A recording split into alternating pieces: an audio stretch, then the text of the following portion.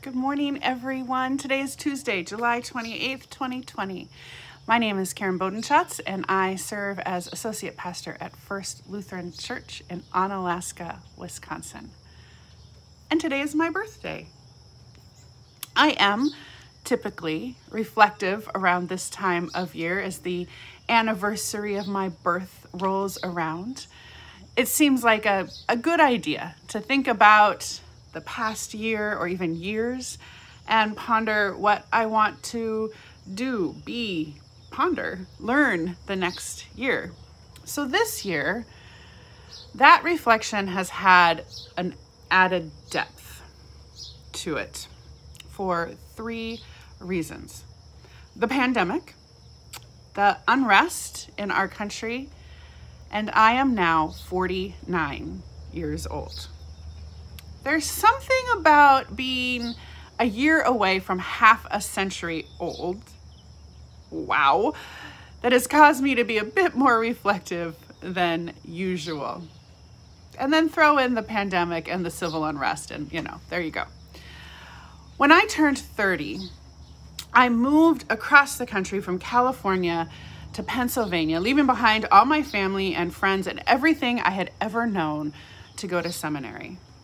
Many of you have heard me talk about how transformative that time was for me.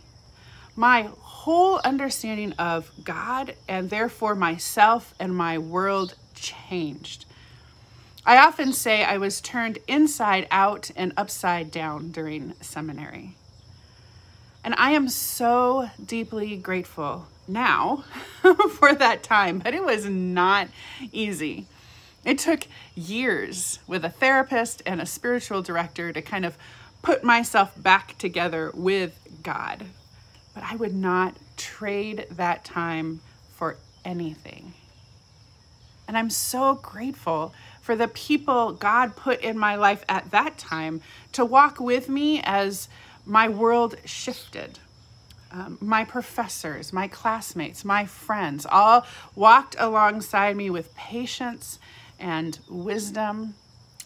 But also deeply influential during that time was this guy named Martin Luther, a long dead fellow follower of Jesus whose life was also turned upside down by God. And despite me being a lifelong Lutheran, I didn't know that what it meant to be a Lutheran. Like, I don't think I really understood what Luther was talking about until I got to seminary. There were just too many competing narratives as I was growing up. So, reading what Luther and the other reformers wrote, learning their stories, began to change how I think and how I understand this amazing God we have. Having one of the world's most influential scholars on the Reformation was not too bad either. so now as I get closer to turning 50, I find myself in a similar situation. I can feel the shift that is happening in me as my thinking and my understanding of myself and my world shifts drastically once again. What isn't necessarily happening like then is a deep shift in my understanding of God. The church, maybe, but not God. And that's mostly because this shift in me, in my own self, is grounded in my understanding of who God is and my understanding of the commands to love God and love neighbor that Jesus gives us. This shift has also come about more slowly, or at least it feels that way, or perhaps I'm just a better thinker now. Um, the past 10 years, I've been making my way here as I study human nature and work on my own self understanding. I am, as I was then, thankful for the people who journey with me and have been so patient and kind as I move myself into a new way of thinking.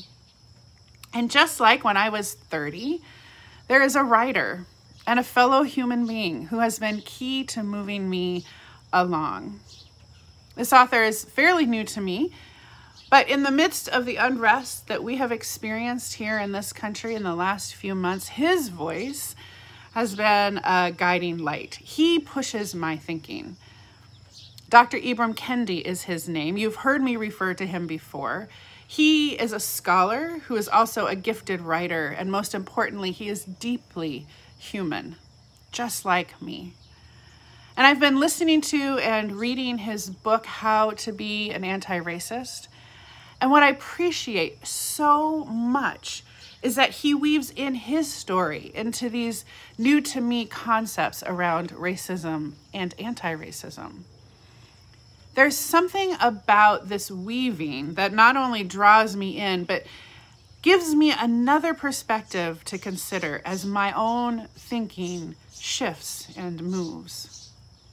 Recently, I was listening to a chapter on biological racism, which is the idea that the races are biologically different and that those differences then create a hierarchy of value.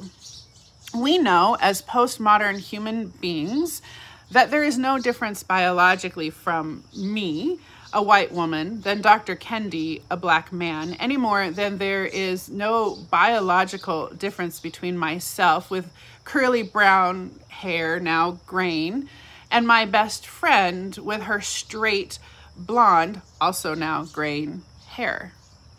And while it may mean there is a different gene that dictates our skin color or our hair color or our height, biologically, we are all the same race.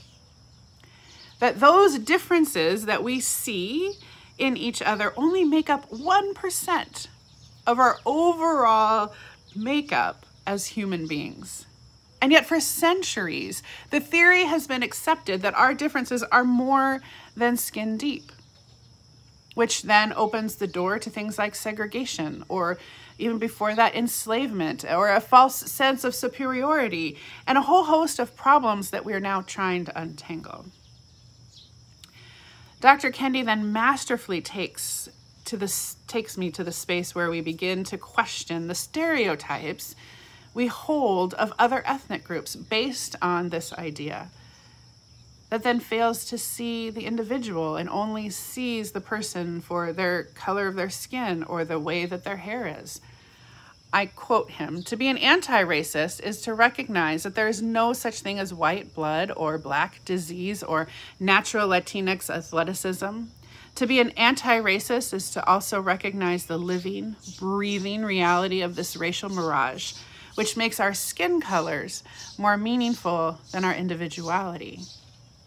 To be an anti racist is to focus on ending the racism that shapes the mirages, not to ignore the mirages that shape people's lives.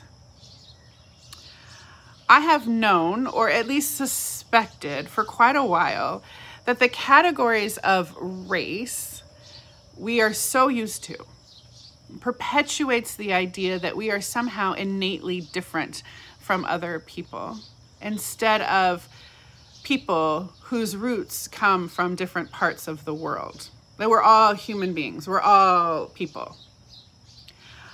I, here in the Midwest, live with the reality that I am an Irish German American deep in Norwegian American territory.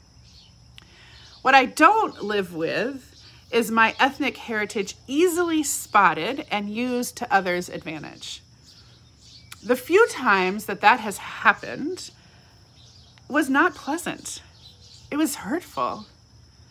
Dr. Kendi is helping me to realize that those few times for me is every day for others and moves beyond hurt feelings to a whole system built to disadvantage a shift is happening in me on this, the 40, 49th anniversary of my birth.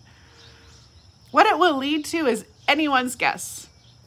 I am sure at some point beyond the 50th anniversary of my birth, I'll have some answers to that. For now, I'm grateful for the wisdom of Dr. Ibram Kendi and others who walk with me along the way, including you. Yes, you. Which brings me to an invitation. In case you haven't seen it on Facebook, we are having a drive through birthday gathering today at my home from 4 to 6 because my extroverted self who loves people is dying a little bit and would love to see and interact with people in a way that makes sense during a pandemic. And this is how we do that. In the age of COVID, you drive by my house and wave. Um, check out our Facebook page for my address or message me. Come by, say hello. Feel free to chat for a few minutes while socially distanced. I will be wearing a mask and appreciate when others do too. And for your kindness, I've made cookies for you, not for me. I'm getting a cake. So, thank you, dear ones, for the ways we walk together as we deepen our understanding of God and ourselves and the world. May you be as blessed as I am in our journey.